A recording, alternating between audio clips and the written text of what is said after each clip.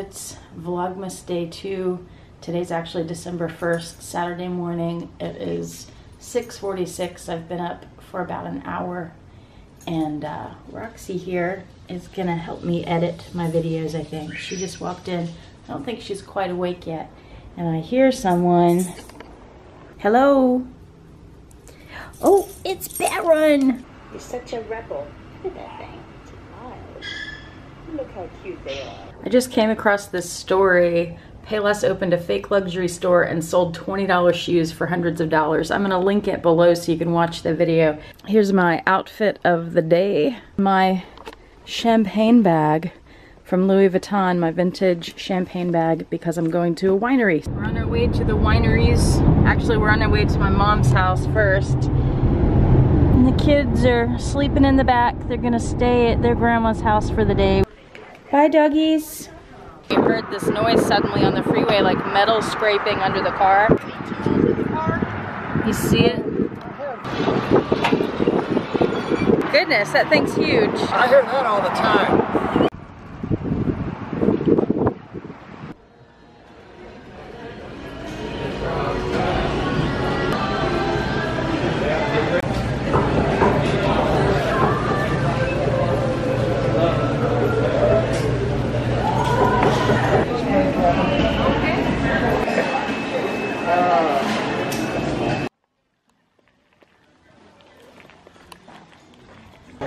Chocolate and almond flavorings added, so it's like a liquid Tootsie Roll almost.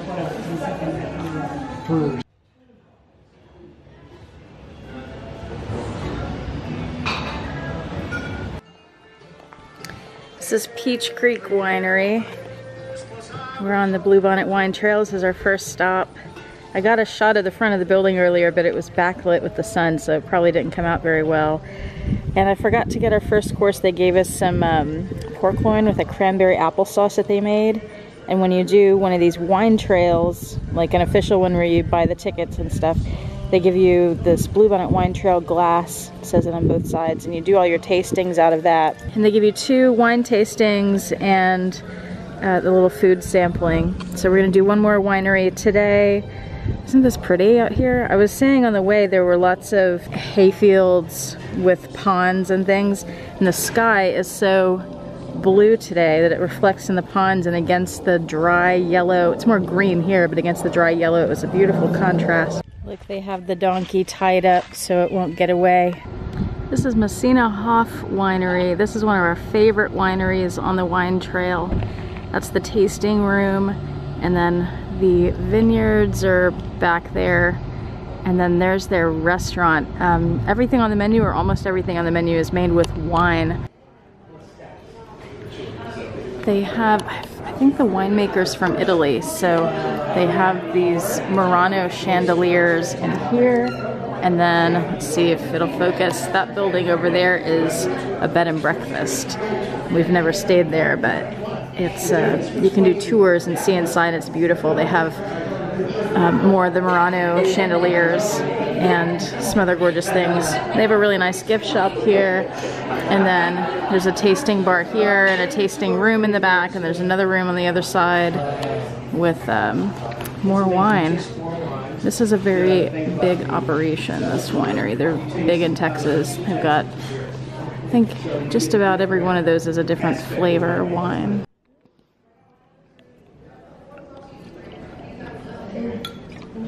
You. Pond outside with turtles, and then the saddle. Oh, these are cool because these are from the Big Houston Rodeo, and they have a wine competition, and that's one of the prizes. Here, let's cheers to Joe. Happy birthday, Joe.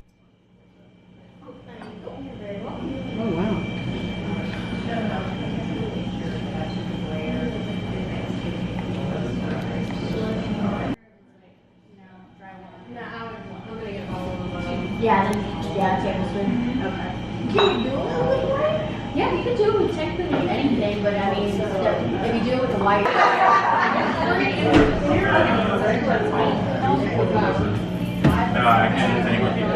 I can go. So we just did some tastings and stuff and we're about to head back to my mom's house in Katy.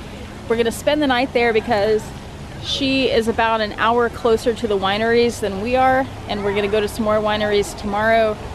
So we figured we'd save some time and some gas and stay there. I feel like as I'm filming, you know, this vlogging thing is really new to me. This is just day two. Really awkward filming in public, and then it's really, really awkward filming and talking or narrating in public. So I feel like I've done a few shots today that show you things, but then I'm not talking, and I don't know if that's boring. Mosquitoes in Texas are like the size of elephants. We were sitting at the bar having our wine flight tasting and I was working on our Christmas card. I just did the little pencil sketch, so I'm gonna show that to you now, and I don't know how clear it is really, but I'll show you the final version too that's in pen and ink. This one's just in pencil and it's uh, a sketch. So here it is. When I do the final pen version, I will explain it better, but that's what it looks like right now. I also wanted to do the 12 days of Christmas and the reflection question. The charity day two is make a wish. And I know I said yesterday that I was doing kind of unusual ones and make a wish is a really popular one that a lot of people know about. Mosquito. I hate mosquitoes. But I love make a wish because it's so cool. You're not just donating money for something that you don't know where it goes. There are particular wishes for sick kids that you can donate towards and they have they have something called adopt a wish and I have the links to this below where you can donate money to a particular wish so you're not just throwing money at the Make-A-Wish Foundation you can put money toward a particular child's wish that you're especially interested in. You can also donate to make a wish come true which is really cool. So I'll put that below. And then also I'll put a link to Macy's. They do this thing, um, at the moment I'm forgetting the name of, but you can write letters to Santa at Macy's online and for every letter to Santa they get, they donate a dollar to Make-A-Wish. So I think that's really cool. That's something fun you can do with your kids or even for yourself if you're an adult or a teenager or something. For the reflection question, the question for today was, what's one thing from the last year that you would tell your grandchildren about? Right now I don't know what that is. I might have to turn the camera off and then um, tell you later tonight what it is. I need to think about it more. But I did want to say that I wouldn't be telling my grandchildren about it because I will not be having grandchildren. I have never ever had interest in having children and because of that I will never have grandchildren. So there's that. But if there's a moment that stands out particularly that I would want to tell somebody about, I don't know at the moment what that would be. Um, I'll have to think about that and then get back to you in a few seconds, in a few hours, whatever it turns out to be. If there's something you would tell your grandchildren about, what would it be? Leave that in the comment section below, please. I wanted to show you these tanks. So there's the tasting room and there are these tanks where they put the wine. We've done several tours here at Messina Hof and they have some really cool holiday tours. Um, we did one at Halloween and one at Christmas where you can taste wine directly from these tanks, which pretty much tastes awful at that point. And then you can also do barrel tastings, but I wanted to make sure I come and show you these. So here we're going inside the tank. Ooh, hello, echo, echo. And the tank goes all the way up. Hello. So I just wanted to show you that for those of you who've never seen it. And then here's some barrels. And my the barrel tastings are my favorite because the wine is pretty much ready by the time you do barrel tastings. And of course these barrels are sitting outside but they wouldn't normally be. They're probably going to be filled up. They're empty definitely because they don't have corks in them at the moment. And then over here are some of the vines and it's December so the vines are uh, not very active right now. They don't have much on them. And then here's the back of the restaurant. So when the vines are nice and green and they've got leaves and grapes on them you can sit in the restaurant there and look out over the vineyards and it's just really pretty. We love going to wineries and doing tastings at different points in the winemaking process. It's just so interesting. We're back in Katy at this Mexican restaurant near my mom's house. that we always go to. They have really strong margaritas and some really good Mexican food, so we're gonna go have dinner there.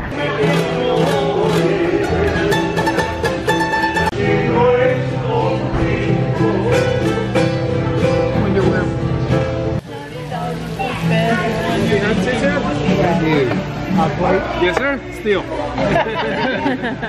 Still. All right. Enjoy me, all right? caliente. Mucho caliente. He had to climb, he, he actually got a ladder out to get into that truck. I forgot to record it, but he did. He had to get a like a 20 foot ladder out to get in that truck. Hi guys! Go pee somewhere. Oh Baron, you're gonna pee right there? You're not gonna go out in the yard? Baron made an artwork, look.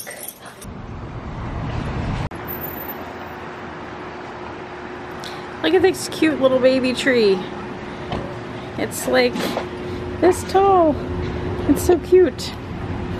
I wanted to uh, tell you a story real quick. I had to make a I had to make a quick grocery run. We just got back to my mom's house and I had to run to Kroger. But I wanted to tell you in light of President Bush dying yesterday. We woke up to that news this morning. I wanted to tell you, and I feel weird because I'm right by a door, and I don't really want people to see me because it's so weird to talk to your camera when in public.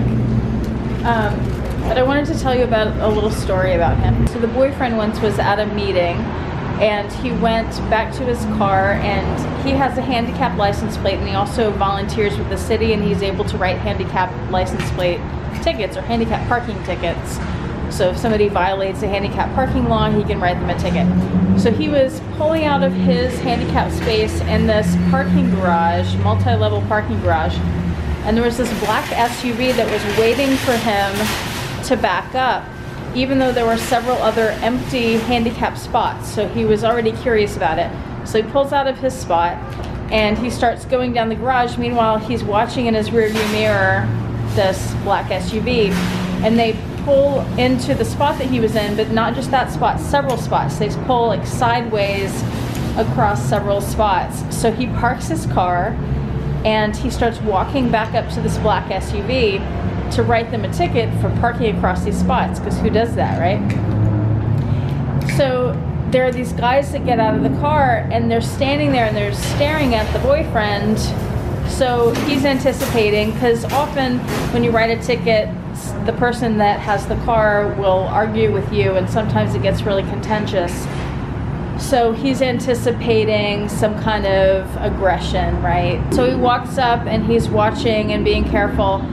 And then he sees some of the guys open the back door and let this other guy out of the car.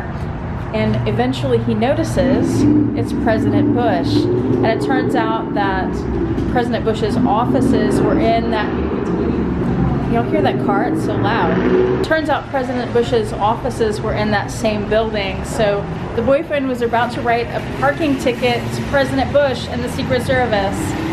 But needless to say, he didn't do that. He let them off with just a friendly wave, and that was it. So that's one of my President Bush stories. Um, sorry about all the noise here. There are cars, there are like shopping baskets being pushed around. I'm inside Kroger and look at this. They have this whole selection of nutcrackers. I have a small collection of nutcrackers and of course I was drawn to this one. It's a policeman and his German Shepherd. Oh my god, that's so cute. If you don't know about this ice cream, it is called Bluebell. It's made in Brenham, Texas, which is where we're gonna be next weekend at the wineries. It is the best ice cream in the world. Nobody can argue with that. It's just a fact. Hurricane Ike hit back in, I think it was 2008. Bluebell was the first thing that was back in stock after all the freezers were down because the electricity was down. So I was actually in this store and all of these freezer aisles were totally empty except the Bluebell cases. Best ice cream in the world, no argument. And I'm about to buy some. Here the boyfriend, I brought you bacon. Don't say I never give you anything.